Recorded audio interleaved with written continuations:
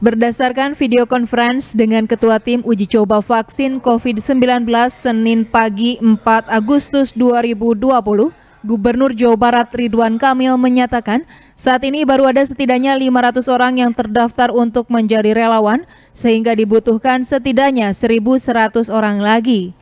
Gubernur pun menghimbau masyarakat yang berusia 19 hingga 59 tahun segera mendaftarkan diri sehingga COVID-19 dapat segera ditaklukkan.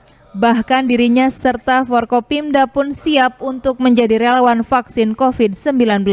Vaksin kita sudah ada pendaftaran, ada sekitar 500 yang sudah terdaftar, kita butuh 1.100 lagi. Oleh karena itu kami mengimbau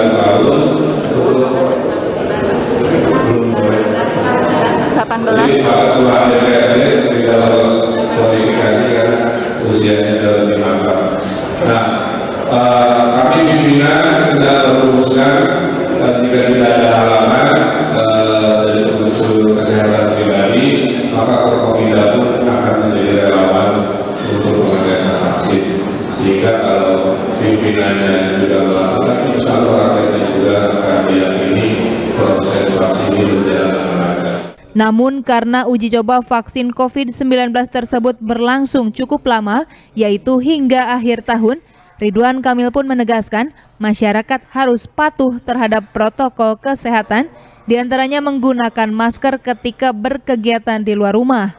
Apalagi pekan ini pemberlakuan denda jika tidak memenuhi protokol kesehatan sudah mulai diberlakukan. Budi Hartati, Bandung TV.